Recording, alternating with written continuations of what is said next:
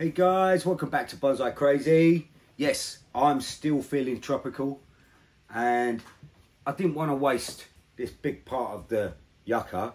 So what I've decided I'm going to try, I'm going to try a little experiment and I put some wire around this and I've bent it upwards and you can see this little little this little uh, bend here. Well basically I'm going to try try and do a a raft style yucca bonsai. I think that would be quite cool. So what I've done is, like I say, I've wired this up. Um, I did snap the end of this, but I've taped it back up and the rest of that will be under soil. So eventually what I'll do is I'll chop this end off and that'll become another plant and hopefully we'll get some buds popping up the trunk here and we'll get some roots down the bottom here and down the bottom here I'm going to chop it here now. I'm going to put it in a pot like so.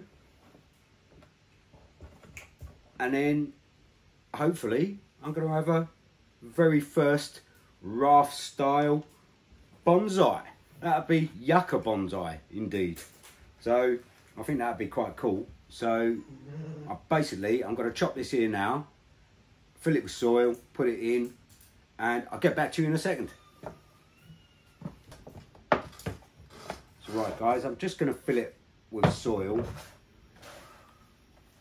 It's got holes, good drainage in the bottom of this.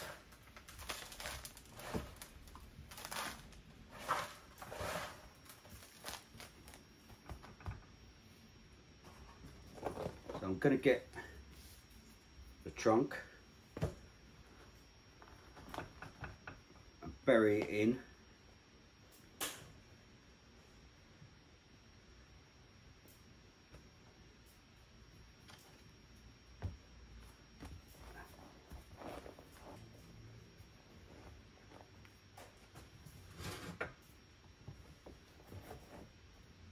That's it, that's what I'll do. I'll put some weights on it in a second. I'm going to fill this with soil.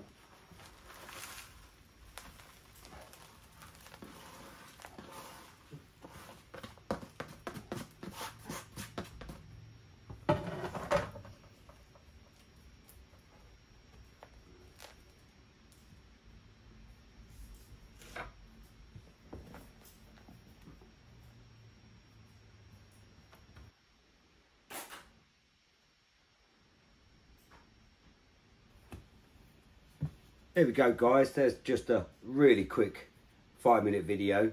This might work and it might not. Hopefully it will work. And uh, I'll start getting some roots out of the bottom here and out of the bottom there. And then eventually, hopefully I'll have some some sprouts here and this will root and I'll be able to keep this bit and make it, get some more out of it. So fingers crossed it works. I'll know in a few months, I suppose. I'll know if this dies or etc etc so please like and subscribe and follow this and follow my new creation. And I'll see you next time guys. Cheers. Ta -da.